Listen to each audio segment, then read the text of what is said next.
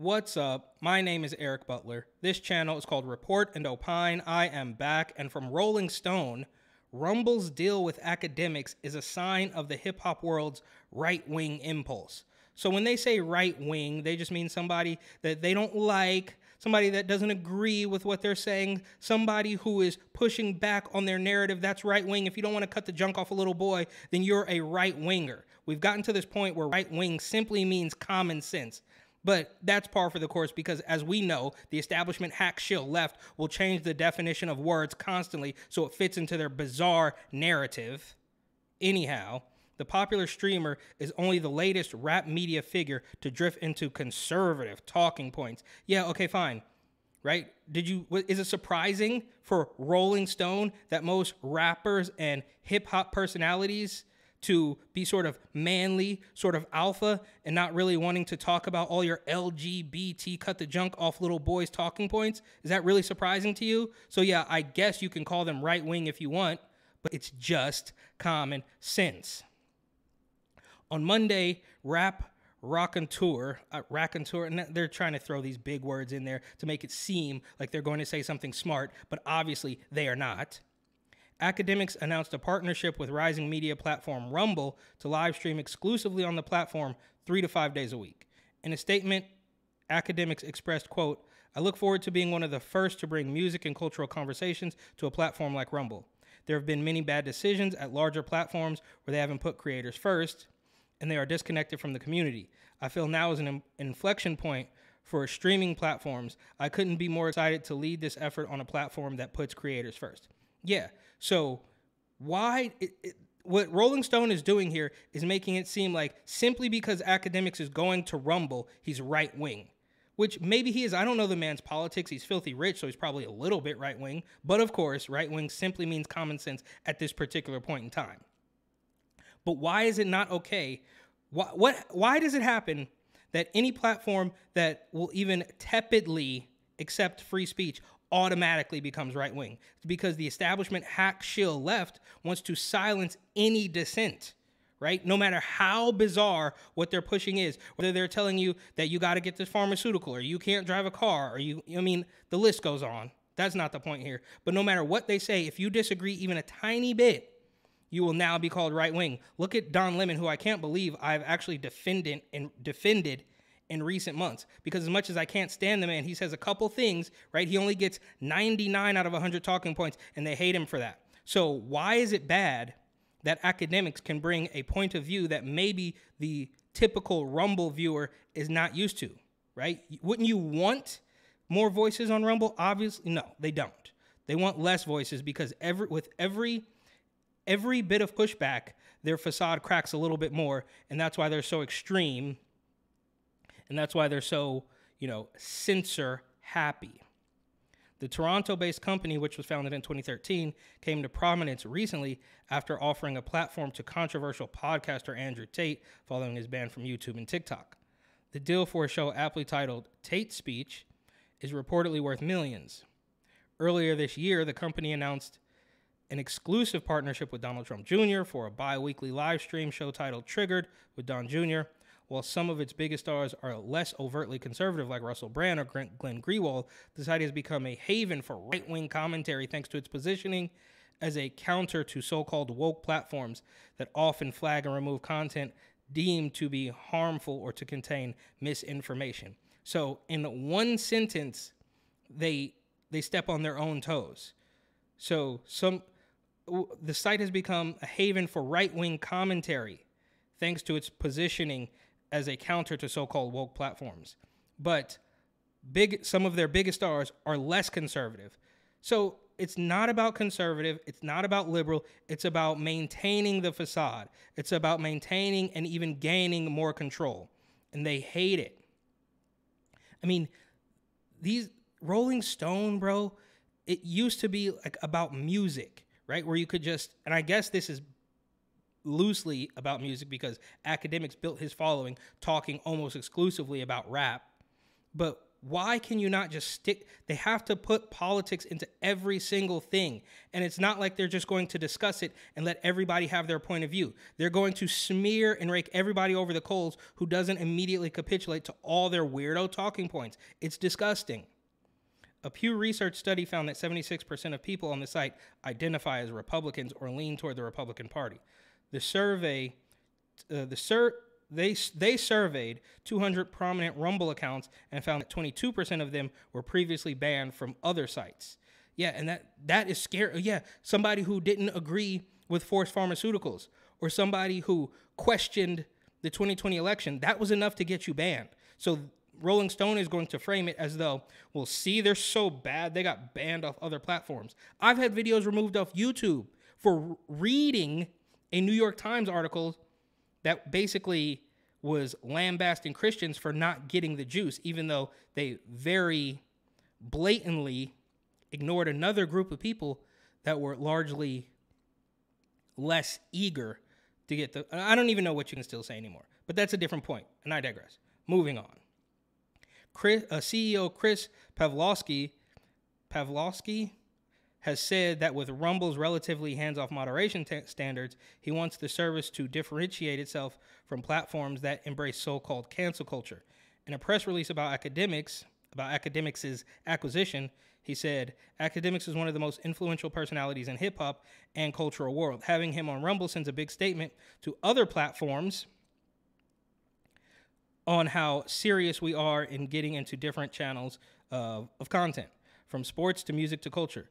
The deal also exemplifies how conservative minded hip hop media figures have become. and it, again, it's not that hip hop figures have become conservative, it's that they are common sense people and you are trying to force them to believe stuff that they know in their mind doesn't make sense. And you think they're so stupid that you that you forcing a weirdo agenda on them and them saying, "No, I don't want to do that," makes them right wing.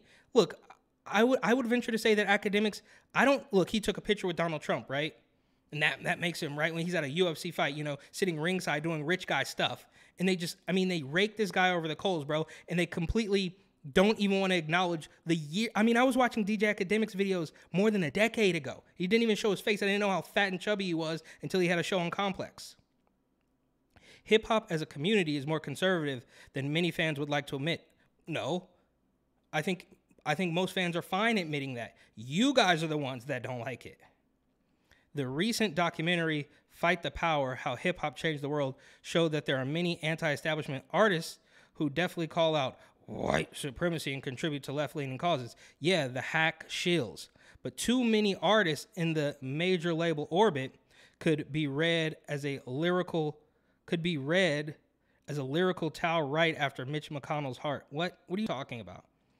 Honoring profit above all, demeaning poor people, all while espousing misogynistic and anti LGBTQ ideas, even more overtly. Now, we're constantly told that we should uplift black voices, right? And everything is racist, but then this genre of music that is mostly black people holds some views that are directly in contrast with what they're forcing on people and it doesn't matter they don't even get a point of view that there's too many of them can you believe they have a they anti give me a break, bro. You guys have twisted yourself into a pretzel trying to force these ideas on people that just don't want it, and it's all backfiring. I hope it backfires. I hope Rolling Stone goes the way of BuzzFeed News.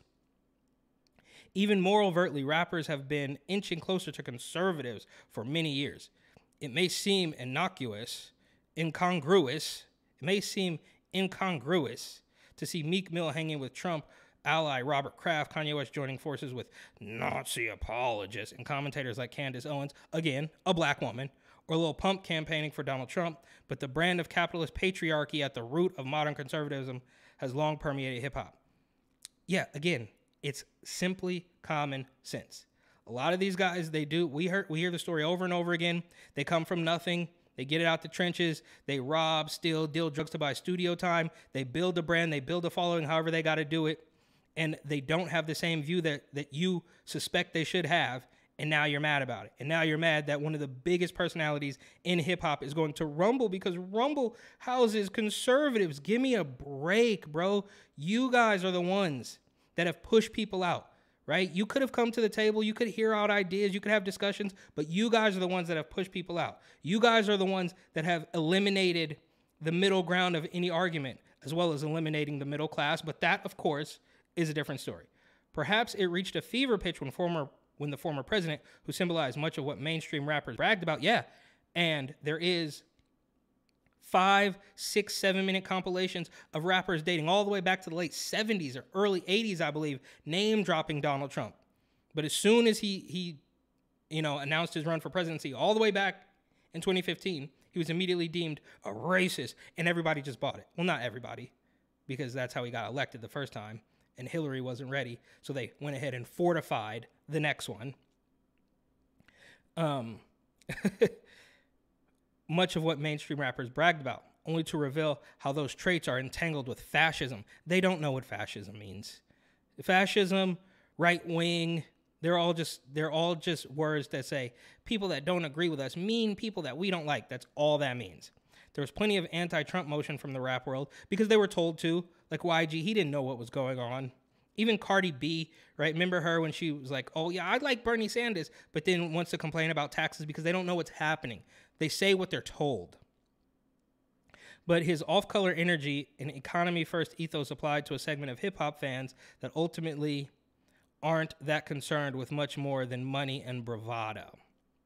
Akademiks who previously who previously streamed on Twitch embodies the conservative shock jock as a reductive adversarial patriarchal figure. Buzzword, buzzword, buzzword. Akademiks is none of that. He's just a dude who had been making a boatload of YouTube videos for more than a decade now, and they're mad because they hate success because they want to do this weirdo socialist, communist, cut the junk off kids nonsense. Um, amplifying the worst stereotypes of black people. Oh, is that right? Is that right? In his War on Chiraq YouTube coverage, which is still up, how dare he cover how dare he cover violence in Chicago? He he called Chicago a quote cesspool of coons that live and breathe like cockroaches. Yeah, Akademiks is funny, bro. You don't have to like all of his jokes. You don't have to agree with everything he says, but you want to pretend that this black guy who I believe he's from Brooklyn or Jersey or something is is the problem. I mean, he embodies the worst stereotypes of black people. Is, is that right? Is that right? So are, are you saying that he is an example of what you think a lot of people, a lot of black people are like, but you don't like him? So what does that really mean? This is all absolute nonsense, but like I constantly say, if you take any of their talking points to their illogical conclusion, illogical conclusion, it will undoubtedly, every single time, without fail, conflict with another one of theirs. So now they're mad at Akademiks because he highlighted violence in Chicago and he shouldn't have done that. He should have just let, I mean, yeah, I mean, there's a lot of, there's a boatload of rappers out there who don't like Akademiks for other reasons, but there's nobody's going to claim he's uh, a stereotype of the worst thing about black people and a patriarchal figure. It's all absolute nonsense that you guys made up because you hate to see success. And while he's framed the war in Chiraq as his sophomoric attempt at satire, it was funny. I didn't watch all of it, but Akademiks is pretty funny, right? He's uh, he's carried that conservative pathology into his modern work. Again, conservative just means common sense at this point. You can look at people like Nancy Pelosi, who is 167.5 years old, telling you that a little boy can magically become a girl. You guys are the ones that push people away. And then you want to complain that they've got, gotten too conservative. And this goes on. They want to rake Akademiks over the coals and call him a conservative, which he may or may not be. We don't know but it doesn't matter because he is as, as some kids might say breaking the matrix right? He's going over to rumble because youtube you know wasn't treating him right or whatever. And he had he's it's fine for him to do that. I don't know why they're so angry. Well i do know why they're so angry. It's because a prominent black person is doing something that they think he shouldn't do. These are the same people who only a handful of years ago would would tell you that there was no such thing as a black Trump supporter. So it's all absolute nonsense. But thank you for watching. Please like, comment, share, and of course, subscribe.